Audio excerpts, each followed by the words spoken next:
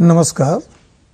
आज हमारे साथ स्टूडियो में मौजूद हैं प्रोफेसर मारुति नंदन तिवारी जी, जो लंबे समय तक कला का अध्यापन किए, दर्जनों पुस्तकें आपकी आ चुकी हैं अब तक कला और संस्कृति पर। एक जाने माने कलाविद हैं, कला के अध्येता हैं। आपको टैगोर फेलो भी मिला है एमरिटस प्रोफेसर भी रहे बनारस हिंदू यूनिवर्सिटी में, और साथ ही नेहरू फेलो पर आपने यूके में कुछ दिनों कला का अध्ययन किया। और इसके अलावा आपकी पुस्तकों पर आपको राजभाषा के पुरस्कार भी मिले हैं जो उपराष्ट्रपति महोदय द्वारा दिए गए थे। तो इस तरह पूरा जीवन आपने समर्पित किया है कला के लिए।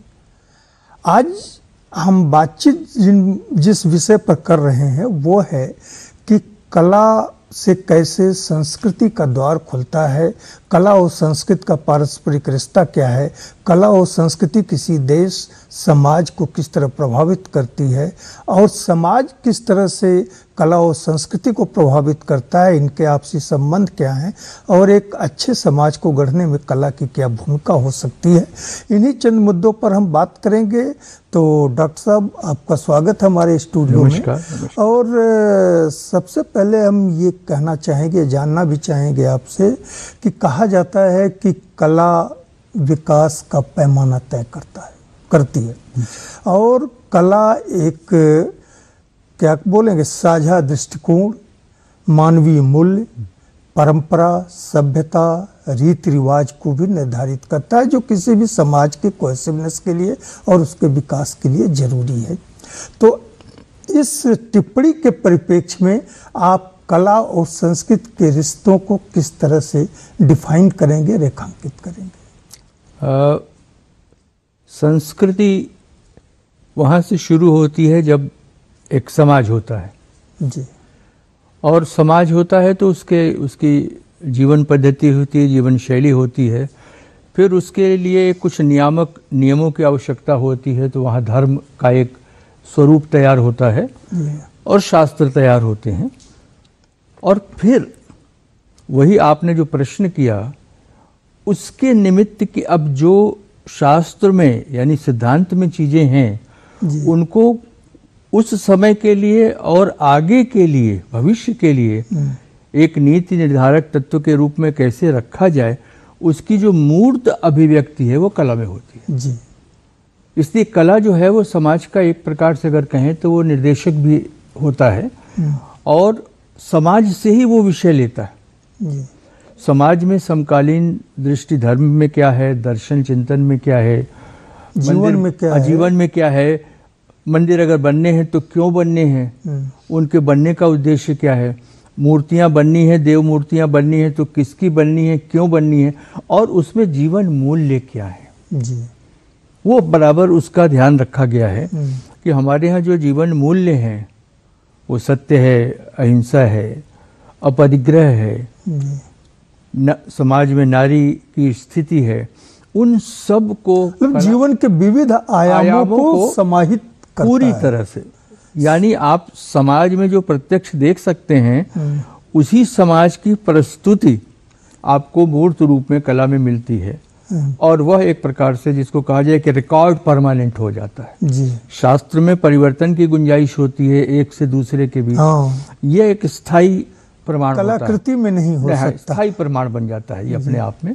और इसलिए इस इसका इसका दायरा बड़ा होता है। और इसमें इसकी जो अभिव्यक्ति होती है जैसे बहुत छोटा उदाहरण है कि रेडियो में हम जब सुनते हैं और दूरदर्शन जिसके लिए हम आप यहाँ उपस्थित हैं दोनों में अंतर जो आ जाता है वही कला का अंतर है। वहाँ मौन में स्वर है हाँ। और दृष्टि जो दृश्य है उस उसकी वजह से वो सारी चीज़ें ज़्यादा साफ़ होती हैं। जी। हम नारी की बात तमाम शब्दों में श्रृंगार की बात कर देते हैं। नारी की बात करते हैं मातृत्व की बात करते हैं। लेकिन जब हम मूर्तियों में देखते हैं तो वो सारी हाँ मातृ हाँ मातृ पूजन कैसे शुरू होता है? मातृ देवियों की मूर्तियाँ कैसे प्रारंभ से बनती हैं बालक के साथ? तो मातृभाव जो है वो सिंधु सभ्यता से शुरू होकर के फिर वही अंबिका पार्वती में हो जाता है और फिर सभी धर्मों में स्वीकार्यता उसकी होती है। हारीति बौद्ध धर्म में आ जाती हैं मूर्ति बनती है। जैन धर्म में अंबिका हो गई और हमारे यहाँ पार्वती है ही है। और सबके साथ दो दो पुत्र हैं। हम्म, अगर हम इसको एक सहज रूप में लें तो कहीं ना कहीं एक तरफ़ वेदों में अगर सौ पुत्रों की कामना की गई है तो शिव के दो पुत्र पार्वती के दो पुत्र इसके माध्यम से कहीं शायद यह भी संकेत है कि हम पॉपुलेशन की वृद्धि की बात करें यानी संस्कृति का एक बड़ा संदेश है या हमें कहीं ना कहीं अपने आप को संयत रखना होगा इस दृष्टि से भी कि हमारा जो एक एक विकास है परिवार का समाज का जनसंख्या का वह किस रूप में हो? तो ढेर सारे संदेश हैं। जी जी। नहीं मतलब कहने का मतलब यह है कि कला एक वहीकिल है जिस पर सवार होकर संस्कृति समाज और देश में लोगों तक पहुँचती है। पहुँचती है और अधिक व्यापक होती है। जी और उसका प्रभाव भी शास्त्र ज्ञान के आधार पर आप पढ़ेंगे। जी। लेकिन कला में तो एक एक सहज अभिव्यक्ति होती है एक एक जिसको कहा जाए कि अब अशिक्षित शब्द हम व्यवहार नहीं करना चाहते लेकिन जिसने शास्त्र का बहुत उससे ज्ञान नहीं है वह भी समझ लेता है जी। कि ये नारी है इसमें मातृभाव है। जी। पुत्र वत्सला है ये। जी। वो समझ लेगा। अंबिका है ओहो ये तो देवी हैं इनको समझ लेगा। तो वह जो समझ है एक एक सामान्य समझ और विशिष्ट समझ दोनों एक धरातल पर कला बराबर में, हो जाते कला में आ जाते हैं तो कला के समझने का आयाम बहुत बड़ा हो जाता है। जी। पूरे पॉपुलेशन तक वो कम्युनिकेट हो कर लेता है। मतलब एक कलाकृति न जाने कितने चीज़ों को एक साथ अलग लोगों को कम्युनिकेट करती है पहुँचा देती है और उसके लोग अलग अलग इंटरप्रिटेशंस भी कर सकते हैं। और उस उसका कारण जो है वो बहुत वो है। शास्त्र में तो लिपिबद्ध है। आपको वही समझना है जो लिखा है। जी। सत्य की जो परिभाषा दी है वही समझना है। लेकिन जब आप आप सारनाथ की बुद्ध मूर्ति देखते हैं धर्म चक्र में। जी। तो गाँव से आने वाला एक व्यक्ति जो सहज दृष्टि उसकी होती है तो वो कहेगा कि वो लगता है किसी योगी की मूर्ति है। हम्म, थोड़ी और समझ हुई तो वो कहेगा ये तो बौद्ध धर्म की मूर्ति है बुद्ध की मूर्ति है। और समझ हुई तो कहेगा ये बुद्ध के उस स्वरूप की मूर्ति है जब सारनाथ में उन्होंने पहली बार आकर के धर्मोपदेश दिया था संबोध या ज्ञान प्राप्ति के बाद बोध गया से। तो उसी हिसाब से मगर समझेगा सब। हर आदमी समझ लेगा। जी। यह वैशिष्ट है। हाँ और शायद इसीलिए कला संस्कृति की सबसे सशक्त। संवाहक है। बिल्कुल बिल्कुल अच्छा डॉक्टर साहब एक चीज़ संस्कृति को लेकर के भी बहुत से बहुत सी बात कही जाती है लोगों के अलग अलग परसेप्शन है। लेकिन जहाँ तक मैं समझता हूँ कि संस्कृत ये संस्कृत के क्री धातु से बना हुआ है करना। और ये तीन शब्द आते हैं। प्रकृति संस्कृति और विकृति। तो ये संस्कृति प्रकृति जो स्थूल भाव है संस्कृति जो परिष्कृत भाव है और विकृत यानी जो पतन की तरफ़ है। तो इस दृष्टि से अगर देखा जाए तो संस्कृति सुधार करती है परिष्कार करती है शुद्धता प्रदान करती है। तो आप किस तरह से इसको डिफाइन करेंगे थोड़ा विस्तार से हमारे दर्शकों जी। दार्शनिक अर्थ में विष्णु धर्मोत्तर पुराण का नाम आपने सुना होगा। वो जब ईश्वर और मूर्ति और ईश्वर के साकार स्वरूप के संदर्भ में चर्चा करते समय वो दो शब्दों का इस्तेमाल करते हैं प्रकृति और विकृति। जी। प्रकृति ईश्वर का वह स्वरूप है जिसमें कोई स्वरूप नहीं निराकार है अदृश्य है और जिसे आप शब्द अव्यक्त है। अमूर्त है। अमूर्त है। लेकिन वही जो विकृति होती है तो फिनोमिनल हो जाता है वो अपने आप को अनेक रूपों में व्यक्त करता है। दिखाने लगता है। जैसे ऋग्वेद में आया एकम सद विप्रा बहुधा वदंती। जी। ऋग्वेद में ही एक जगह और आया है कि रूपम रूपम प्रतिरूपो बभूव। वह एक ही स्वरूप है वह अपने को मल्टीप्लाई करता चला जाता है। आप बुद्ध कह देते हैं मैं शिव कह देता हूँ वो विष्णु कह देते हैं शक्ति कह देते हैं। और इसमें कहीं न कहीं भारतीय संस्कृति का जो मूल तत्व चेतना है वो छिपी हुई है। एकम सत विप्रा बहुधा वदंती और वही शंकर आगे ले जाते हैं अद्वैत में। जी। और अद्वैत भाव जो भारतीय संस्कृति का है लोग कहते हैं ना कि बहुदेववादी है इससे कन्फ्लिक्ट है। तो आपस के द्वंद्व और संघर्ष को समाप्त करने का एकमात्र तरीका है अद्वैत भाव। क्योंकि अद्वैत भाव में मैं समाप्त होता है और जब मैं समाप्त होता है तो आप जो संस्कृति की बात कर रहे हैं वो संस्कृति अपने आप व्यक्त हो जाती है। परिष्कृत हो हाँ और वो परिष्कृत संस्कृति होती है जिसमें आप आप आप सबको एक तत्व ईसावास्य मिलम सर्वम यत किंचित जगत्याम जगत देखना शुरू करते हैं। और वही भारतीय कला में भी है। हम बुद्ध की उपासना करते हैं, मैं शिव की उपासना करता हूँ। आप हो सकता है कि विष्णु की उपासना करते हो। लेकिन संस्कृति का मूल तत्व चेतना वही है और वह है कि इस उपासना के माध्यम से, जो आपने संस्कृति की, संस्कार की बात की, आप कहीं न कहीं अपने मैं का तिरोहण करके एक जो इष्ट देव है जिसे आप अपने से श्रेष्ठ मानते हैं आदर्श मानते हैं और भक्ति के माध्यम से अपने आप को आत्मसमर्पण आप करते हैं आत्मनिवेदन करते हैं और वहाँ से फिर आप अपने आप की शुरुआत करते हैं। मतलब खुद को पहचान हाँ। भक्ति यानी अपने मूल को पहचानना। जी। सेल्फ रियलाइजेशन सेल्फ रियलाइजेशन मूल को पहचाना जीवन का उद्देश्य समझना और तभी सार्थकता होती है किसी भी व्यक्ति की समाज के लिए और वहीं संस्कृति का निर्माण होने लगता है। जी। अच्छा डॉक्टर साहब ये तो बात रही संस्कृति का। एक चीज़ अगर हम आपसे जानना चाहेंगे हाँ जी। कि ये संस्कृति की ये तो एक खास विशेषता है जो बहुत गहन अध्ययन वाले लोग समझ पाते हैं। सामान्य तौर पर अगर हम कहें तो संस्कृति की क्या विशेषताएँ हैं? चार पाँच। और उसका महत्व क्या है हमारे जीवन में? संस्कृति हुआ कि आप समाज में, समूह में व्यक्ति ने जब से रहना शुरू किया, वहीं से समाज और संस्कृति की शुरुआत होती है। जब समाज की शुरुआत होती है तो फिर उसके बाद संस्कृति का एक हिस्सा धर्म होता है। धर्म यानी आपको कहीं न कहीं कोड ऑफ़ कंडक्ट देता है कि आप अपने जीवन आचरण को को आदर्श तरीके से कैसे करें तभी तो समाज बढ़ेगा। जी। अगर हर व्यक्ति जैसा आज के संदर्भ में हम लोग महसूस कर रहे हैं कि हर व्यक्ति व्यक्तिवादी हो गया है अपने बारे में अपने दायरे में ही सोचता है उससे बाहर निकल करके जो सर्वजन हिताय सर्वजन सुखाय की बात थी। जी। सर्वे भवंतु सुखिन का चिंतन था वह है संस्कृति का मूल। और वहाँ से जब शुरू होता है तो उसके तमाम स्टेप्स बताए गए हैं। सत्य भी उसी में है अहिंसा भी। क्योंकि इसमें से सबका पालन कर लें तो तो ईश्वर बन जाएँगे। किसी एक का भी हम करेंगे जब तो उसका जो समाज में जो द्वंद्व है वो संघर्ष जो है वो होगा आपका परिष्कार होता रहे। संस्कृति में यह भी है हाँ। कि धर्म के माध्यम से आपका परिष्कार होता रहे संशोधन होता रहे और आप कहीं ना कहीं आत्मचिंतन के माध्यम से स्वयं से हरिश्चंद्र होने में बहुत समय लगेगा। लेकिन एक अच्छा लेकिन कहीं तो ना कहीं शुरुआत आप करते हैं गांधी होने में भी बहुत समय लगेगा। लेकिन आप ऐसा ना करें कि हम गांधी नहीं हो सकते। हम्म, आप सत्य के रास्ते पर चल सकते हैं उसमें बहुत सारी सीढ़ियाँ हैं। जी।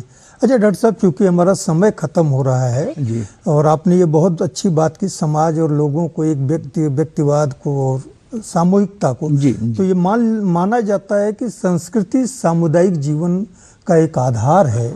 और दूसरे शब्दों में कहें तो संस्कृति कुछ नहीं है हम हैं आप हैं लोग हैं। इन्हीं से संस्कृति का निर्माण होता है। संस्कृत का अस्तित्व होता है। तो इस पर आप एक संक्षिप्त टिप्पणी कीजिए और फिर हम कार्यक्रम को समापन की ओर बिल्कुल आपने ठीक कहा कि जब हम होते हैं मैं नहीं संस्कृ- हो गया। मैं संस्कृति नहीं है जी। हम संस्कृति है। जी। और हम जब संस्कृति होती है तो हम कला के संदर्भ में अगर कहें तो उसी हम को संस्कृत कला व्यक्त करती है। जी।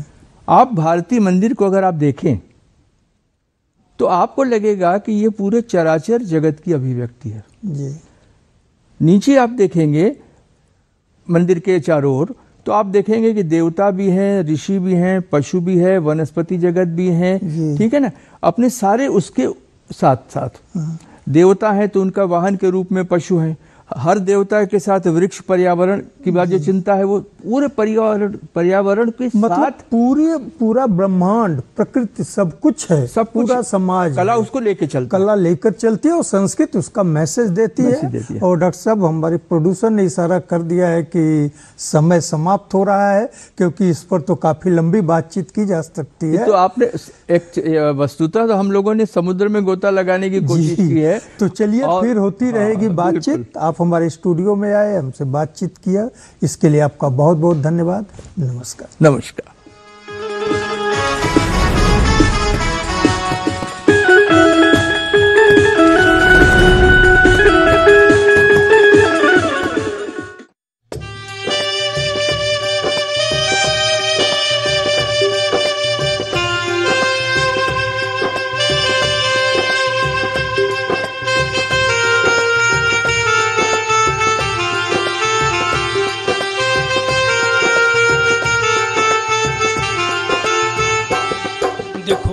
चली पुरवाई है। खुशियों की मस्ती छाई है। हम नई सुबह की ओर चले। ऋतु प्यार करन की आई है। खुल के इजहार करें। अब ना इंतज़ार करें। चल प्यार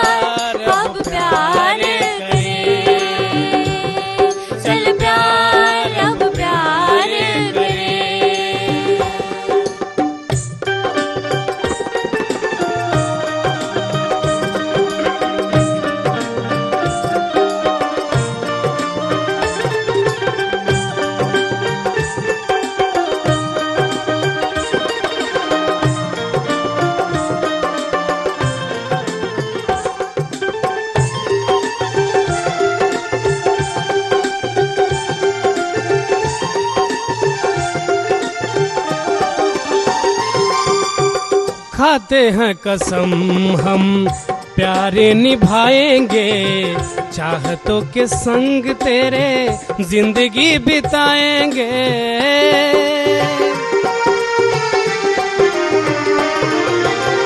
खाते हैं, कसम हम प्यारे निभाएँगे। चाहतों के संग तेरे ज़िंदगी बिताएँगे। प्यार की हद हम पार करें। दिल ना बेकरार करें। चल प्यार अब प्यार करें। चल प्यार अब प्यार करें।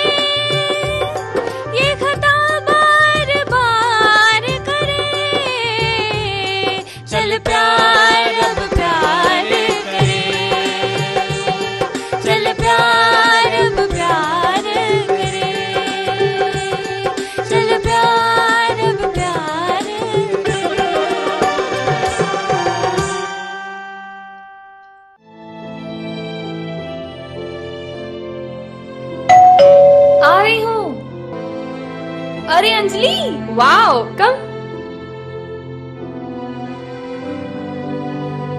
और बता कैसी है? मैं ठीक हूँ। अंकल आंटी कैसे हैं? वो भी ठीक है। और तेरा कॉलेज कैसा चल रहा है? अच्छा चल रहा है। तू बता। मैं तो बिल्कुल ठीक हूँ। सब अच्छा है। आ बैठ। यार अंजलि तू बहुत अपसेट सी लग रही है। क्या हुआ? पता नहीं यार। आजकल रात में मुझे नींद नहीं आ रही है। कभी कभी तो बुखार सा भी लगता है। रात में पसीना भी बहुत होता है। तुम्हारे सीने में भी दर्द होता है क्या? हाँ। हल्का हल्का सा दर्द होता है। आजकल तो मेरा वेट भी कम हो रहा है। तुझे तो खांसी भी आ रही है। कितने दिन से आ रही है खांसी तुझे? यही लगभग दो तीन हफ्तों से आ रही है। तूने डॉक्टर को दिखाया? नहीं। कहीं तुझे टीबी तो नहीं? टीवी? हाँ टीबी एक संक्रामक बीमारी है जो किसी को भी हो सकती है। तू चल मेरे साथ। अरे रुक तो। नहीं तू चल। पहले डॉक्टर के पास तो सुन। एक बार चेकअप करा लेते हैं।